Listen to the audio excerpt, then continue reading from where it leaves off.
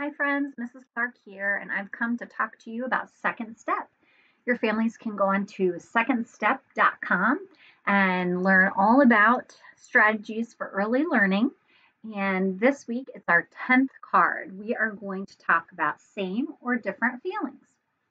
And the story card I have, I have two friends, all right, Marissa and Chantel, and you will see them enjoying their bike on the playground, okay? They're riding the same bike. Chantel is in the front, pedaling the bike fast, right? So this is Chantel. And Marissa is riding in the back. Focus your attention on the photo. What is the same about Chantel and Marissa? So can you look? Let's see what things are the same in this card. Both girls are wearing their coats and they are both riding the bike. They have the same hair color and they look about the same age, right? They are both wearing helmets, right? So if you guessed some of those, pat your head. Good job. Or kiss your brain. Good job.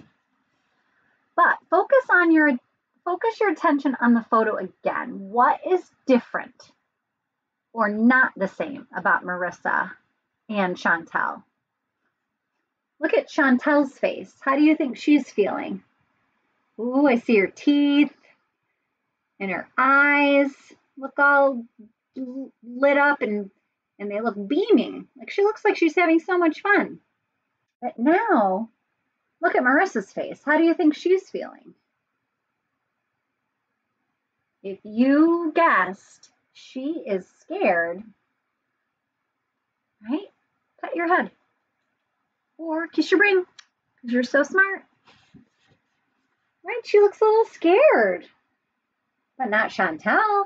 She's excited and happy.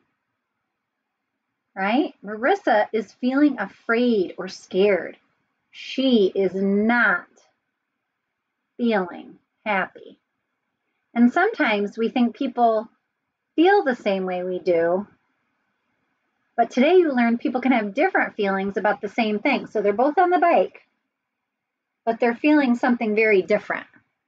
So now let's use our problem solving brains. You can do it because you are amazing problem solvers.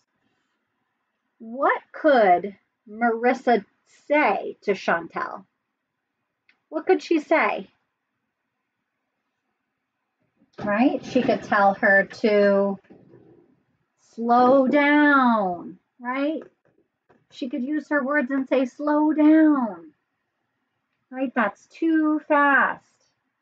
Or I don't like it.